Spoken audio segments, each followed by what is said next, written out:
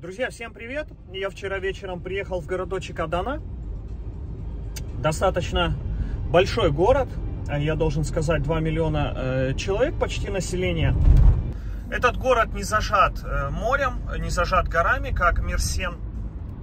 Э, достаточно просторный такой городочек. Вчера проезжал мимо стадиона, у них прям такой стадион большой. Я сейчас еду на восток, уже на северо-восток даже сторону Газантепа. Я иногда в настройках ставлю, чтобы Google меня отводил от платных дорог, чтобы я по маленьким дорогам проезжал, больше видел. Потому что, когда мы едем с вами по такой магистрали, мы, э, как правило, пропускаем э, много всяких разных интересных достопримечательностей, просто несемся больше 100 км в час. Э, здесь нет съездов. То есть даже если я вот буду вот так вот ехать, что-то мне понравится, что-то я захочу увидеть, я съехать смогу только позже. Но зато ехать можно быстро. А, ландшафт существенно изменился э, по сравнению с Анталией, с Аланией. Здесь у них нету вот таких вот уже сопок, всяких разных. Здесь больше такая равнина. Напоминает мне наш казахстанский. Но вместе с тем Здесь много зелени, много зеленых деревьев. Но э, навигация через 28 километров меня выведет назад на D400, по которой я ехал. Еще можно печатать. Здесь есть клавиатура. Я меняю язык и пишу отель. Э, навигация мне ищет э, отели, вот сейчас, она ищет, ищет отели с самым лучшим рейтингом, во-первых. Э, во-вторых, э, ближайшие. То есть, э, э, вот, к примеру, есть Роял отель 4 звезды. Я могу его добавить в качестве остановки. А через 60 э, километров, через 42 минуты будет. Вот такой есть еще отель. Тоже быстрая остановка через 50 минут. Роял Росс отель есть тоже 5 звезд. Это самый лучший отель он по отзывам мне предлагает. И вот, в общем, он несколько вариантов мне выдает. Э, я могу в любом из них выбрать остановиться. Вот, допустим, я добавляю остановку, все, он уже будет знать, что он должен меня туда привести, там меня оставить. Машина на круиз-контроле, э, она у меня сама рулит и сама э, держит вот этот скоростной режим. Я вам могу показать, как это выглядит. Вот я отпускаю руль полностью, и она держит полосу. То есть я руль отпустил, и даже вот предупреждение. Я должен держать руль. Если я вот его сейчас отпущу, она требует, чтобы я за него взялся, но все равно она будет рулить сама. То есть она считывает вот эти две полоски, дорожную полосу. И э, современные машины, они все по этому принципу. Google меня отводит от платных дорог. Периодически можно по платной дороге небольшой кусочек проехать, э, но только немного. Я сейчас вернусь, если на D400, если мне там не понравится, да, это магистраль, видно знак. Вот это радары, друзья, будьте осторожны. Э, простой пример. Сейчас ехал по трассе и просто с правой стороны на скале на горе увидел замок. Он называется э, Елиан Кале. И э, у меня сейчас будет сюда, ну, я здесь, может быть, час оставлю. Небольшой заезд. И воспоминания на всю жизнь. Поэтому, когда мы едем по э, магистрали, по трассе, естественно, мы так сделать не сможем. Э, замок достаточно интересный. Находится на скале. Вообще, э, строители и архитекторы Византийской и Османской империи, они, как правило, выбирали в качестве фундамента именно вот такие вот скальные породы. И поэтому эти сооружения, они, как правило, не боялись землетрясения, не боялись еще каких-то природных катаклизмов. В общем, замок достаточно хорошо сохранился. Здесь нет уже таких ступенек, лесенок, как где-то на южном побережье в туристических местах. Поэтому обязательно обувайте обувь, очки с собой берите, шапочку, чтобы ничего лишнего в руках не было. И хорошее настроение обязательно. Я обязательно оставлю либо в комментариях, либо в описании информацию об этом замке, чтобы сейчас не тратить на это время. И вы сможете перейти по тайм-кодам, прочитать об этом. Поднялся я до замка, вот здесь вот. Я так понимаю, главный вход. Достаточно сложная тропиночка такая и скользкие камни, поэтому имейте в виду. Но очень хорошо сохранился замок. Эта крепость имеет здесь несколько разных башен. В том числе, я думаю, естественно, здесь объекты инфраструктуры. Но я думаю, мы об этом почитаем в комментариях. Вот здесь, скорее всего, были у них водохранилища. Возможно, что-то другое. Если любите всякие разные крепости, замки, и здесь едете, в принципе, почему бы не заехать? И э, вот здесь вы можете заметить, у них карьер, то есть это была гора целая, и сейчас они ее крошат, на камушки, еще на что-то. Я думаю, там добывают и из этого уже будут дальше строить. Меня здесь встречает средневековая кладка, друзья мои.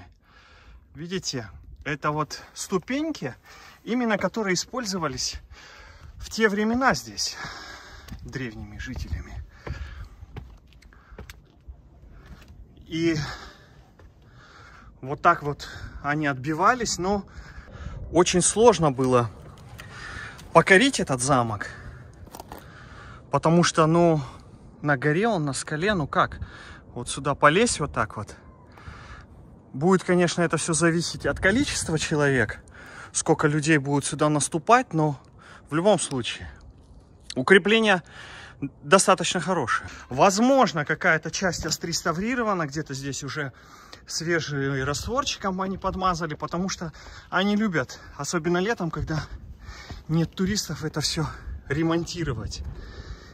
И вот эта лесенка, она прям ведет по периметру, по всей стене. Вот так они бегали здесь. Прекрасный такой вид здесь открывается. Смотровая. Одна из башен. И сразу обрыв вниз. Вот в Турции прям они это обожают. Вот так скидывать тех людей, кто сюда нападает. Чтобы не нападали, скидывали вниз их. И все. Обращаю ваше внимание на то, как здесь высоко. И как, естественно, это все было тогда. Тяжело строить. Каждый камушек надо было подобрать, чтобы он подошел, чтобы он именно нашел свое место, чтобы он не качался, не шатался. Все это вручную делали. Здесь нужно карабкаться. И здесь достаточно интересно тоже. Вот есть бойницы. А, нет, это не бойница, это что-то другое. Вот здесь есть бойницы для лучников. То есть те, кто хотели там на стену залезть, естественно, отсюда обстреливали. И достаточно хорошее такое прям место для ведения огня было. Я так понимаю, туда тоже как-то можно было подняться, но сейчас здесь лестниц нету, и я здесь по гладким стенам не хочу карабкаться. Вот здесь видно, как э, какие-то кирпичики уже поменяли, потому что они отличаются по цвету.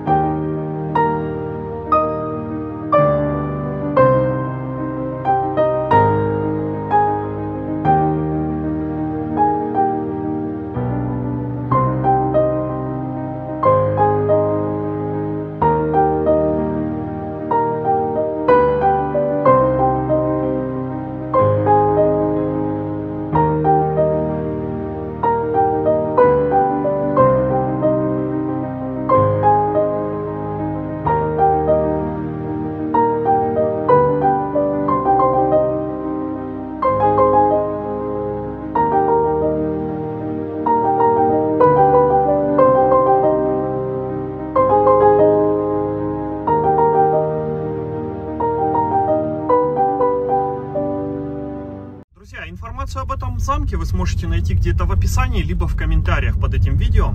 Э, по тайм-кодам сможете пройти и ознакомиться. Э, кстати, э, касательно вот описания и вообще тех мест, как добраться, как проехать, я сегодня читал комментарий под стамбульским видео. И, в общем, девушка обрушила на меня шквал критики, на мой взгляд, необоснованной. В общем, очень много было у нее вопросов, как доехать, как проехать. К сожалению, не всегда у меня получается э, подготовиться к тем местам, куда я еду, и э, прочитать хотя бы что-то про это, потому что, вот, к примеру, я когда был в Стамбуле, я там был э, буквально несколько дней, и практически все туристические места я объездил. То есть, если бы я, ну, к примеру, бы тратил бы время, допустим, на то, чтобы прочитать, что там, где там, в каком гареме черные и белые евнухи сидели, естественно, ну, у меня бы, наверное, не осталось бы времени на то, чтобы это место посетить. Поэтому, друзья мои, я буду вам очень сильно благодарен, если мы будем с вами э, в этом плане дружно э, работать. И э, каждый человек из вас, на самом деле, может зайти в интернете и прочитать, найти ту или иную информацию про дворец Тапкапи, про какие-то замки, которые я посещаю. Вот этот замок, допустим, я вам название показал, вы можете его, это название в гугле найти и что-то, какие-то интересные факты прочитать, к примеру, а потом в комментариях оставить информацию об этом замке.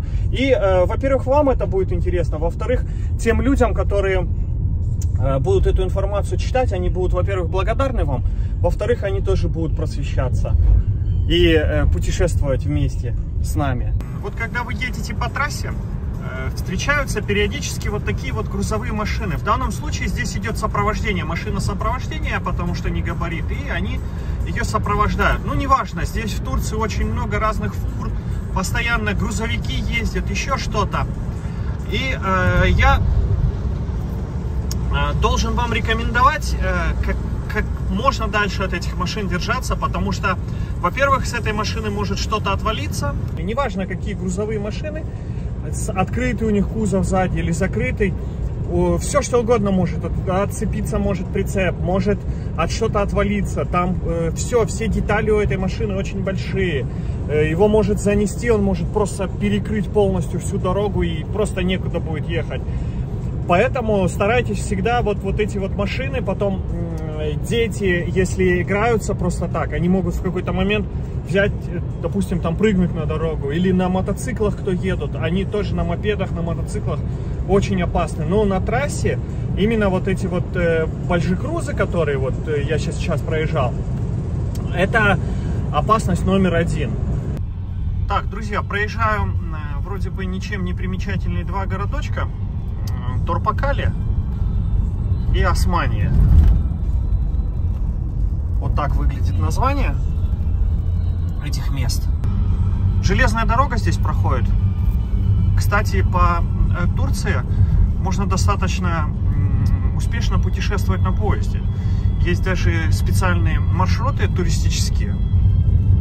А, Восточный экспресс, по-моему, если я не ошибаюсь. И он проходит по таким туристическим местам классным, красивым. Здесь уже почва другая, э, черная земля здесь. А вот если прямо-прямо смотреть, э, то там э, у них леса в горах и тоже очень много зелени. Есть Toyota центр и вот какой-то здесь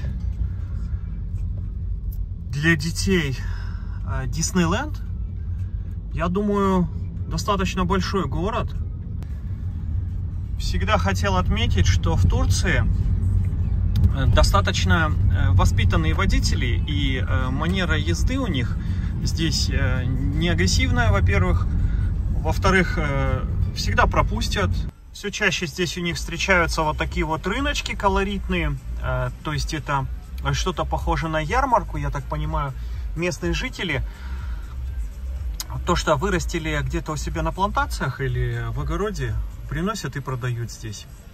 Э, вот эта вот трасса, по которой я сейчас еду, она больше вам подходит, если вы хотите насладиться какими-то достопримечательностями, изучить э, местный колорит, изучить местную культуру, как люди живут, чем тут занимаются. Потому что э, если вы поедете по платной магистрали, там будет создано все, чтобы вы не отвлекались. И вот видите, радар, знак стоит на полу, и тут этот радар. Они всегда предупреждают и предупреждают несколько раз о том, что радар, что вас могут здесь фотографировать, и если будете ехать с любовницей, короче, жене отправят, жена потом увидит. Если нужно с точки А в точку Б переехать, естественно, лучше заплатить какие-то деньги, чем э, э, проезжать маленькие города, э, не всегда дорога хорошая, как сейчас, светофоры появляются, и, ну, все что угодно здесь может появиться, но как бы в этом и заключается прелесть вот этих бесплатных дорог. Они везде есть. Вот эти дороги, это называется аль альтернативные дороги. Вот машина моя машина заметила, что у меня машина впереди снижает скорость и начала мне об этом сообщать. Вот эти бесплатные дороги альтернативные, они существуют по всему миру, и э, я привык путешествовать по Европе вот так. Несмотря на то, что эта дорога бесплатная, я должен отметить, что они ее ремонтируют, постоянно расширяют, какие-то туннели делают, дорожное полотно тоже меняют. И если бы я сейчас поехал бы по платной вот этой вот дороге, которая слева проходит, желтенькая, естественно, вот этих бы серпантинов, ничего бы такого там не было, я бы просто ехал бы ровно и а, ни о чем бы вообще не думал, ни о чем бы не переживал. Я как бы тоже здесь ни о чем не переживаю. Меня все устраивает, дорога вполне хорошая я могу делать остановки, когда хочу, могу любоваться культурой местных жителей и так далее. Снежинки нарисованы. Скорее всего, зимой здесь э, будет снег и будет скользкая дорога, поэтому водители об этом предупреждают. Но дорога очень красивая. Такие вот скалы здесь с зелеными э, всякими разными растениями. А вот прямо по курсу, где грузовики, где автобусы едут, машины, это вот как раз таки платная дорога. Она идет прямо, она идет быстро. Ограничений по скорости там практически нету, но можно ехать нормально. И железная дорога тоже тут же. Да, вот, друзья, смотрите, ветреные генераторы прямо на горе. На возвышенности. Всегда умиляюсь, мне нравится, когда люди делают чистую энергию, чистую вот такую вот энергетику из ветра, они получают электричество, и э, мы можем заправить электрические машины этим, мы можем согреть дом, приготовить пищу, и э, все что угодно мы можем с электрической энергией получить, вот только за счет ветра. Вот, собственно, друзья, э, платная магистраль и бесплатная вот эта дорога, трасса, они сейчас здесь будут пересекаться. И мы сейчас проезжаем с вами под ней. Можно заметить, как здесь все массивно и капитально вообще сделано.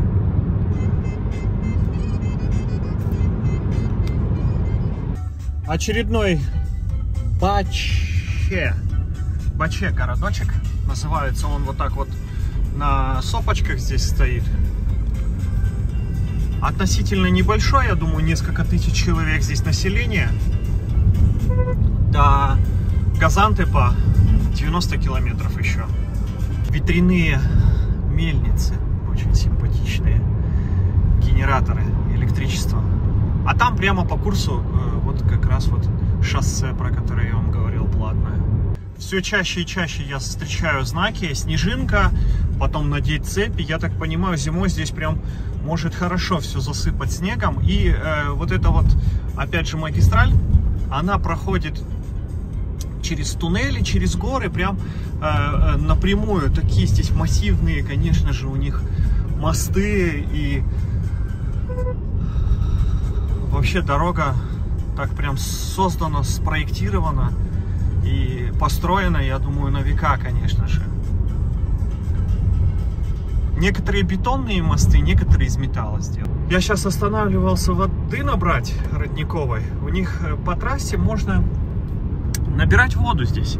И чистая, чистейшая вода с родников, без хлорки, без ничего такого, можно набрать.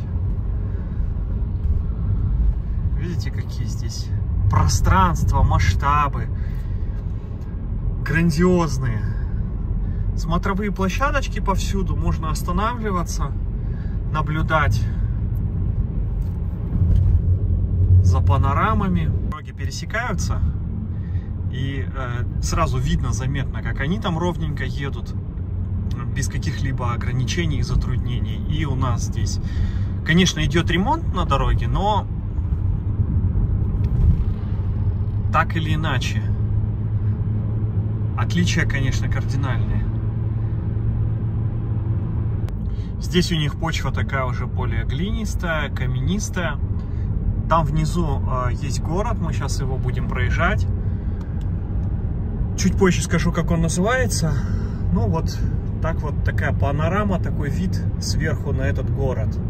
Получается, он в долине внизу находится. Вот видите, здесь есть карманчики, и можно в любой момент вот так остановиться, посмотреть, вот так с высоты на город, например, пофотографироваться, погулять здесь. Видно, как поезд едет, железная дорога, и э, вот какая-то либо новая магистраль, либо еще что-то типа этого тоже строят на возвышенности, и она прям проходит вот так вот интересно. Вот видите, если бы, допустим, мы там ехали на этом мосту, здесь сколько высота этого моста, я не знаю, даже метров 300, наверное. И вот, вот эти вот колонны такие массивные, это не так просто все сделать, между прочим. И очень красиво. Нурдаги это место называется. Вроде бы обычный типичный турецкий городочек. Также, наверное, население до 100 тысяч здесь. Но э, нужно отметить, э, что посмотрите, как у них все вот это здесь. Во-первых, культурно, аккуратненько. Вот эти все домики стоят беленькие.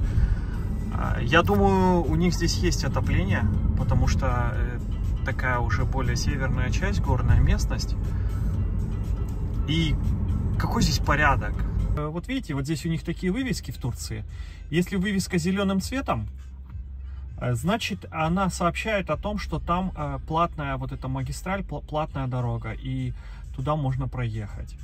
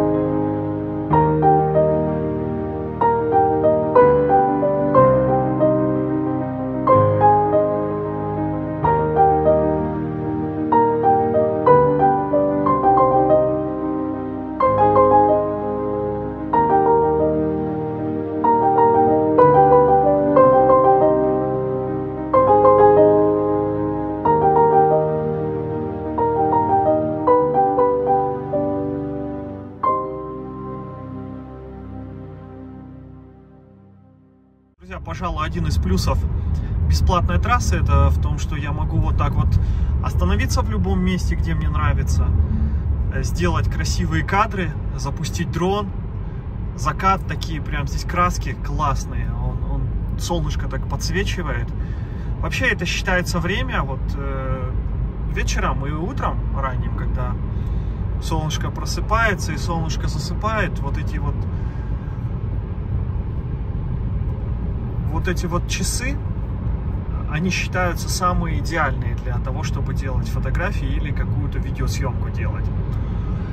Я сейчас поищу себе здесь отель. Вот таким вот образом. Посмотрим, что он мне найдет. 30 минут. 30 минут Роял Газантеп. Три звезды половиной. Ну, посмотрим. Если не понравится, 29 минут мне до него ехать. Но э, я вам должен сказать, что через 29 минут уже темно будет. Уже солнышко вот сейчас только за гору зайдет, и все на этом. Поэтому вот, вот этот вот час утром и вечером это самое такое классное время для того, чтобы что-то сфотографировать, снять. Конечно, это можно днем делать, но я не использую фильтры, и поэтому может объектив немного засвечивать. Я буду заканчивать на этом видео. Всем спасибо за просмотр. Как всегда, пишите комментарии интересные, ставьте лайки, на колокольчик нажимайте, подписывайтесь и увидимся, как всегда, в следующих видео. Всем спасибо за просмотр. Пока-пока.